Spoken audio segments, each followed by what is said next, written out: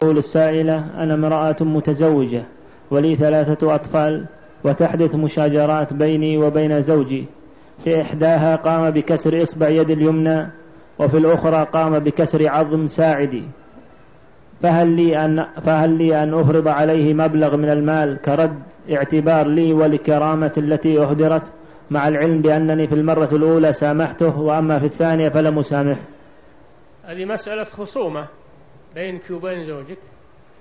إذا أردت المطالبة بحقك هذا يكون عند المحكمة.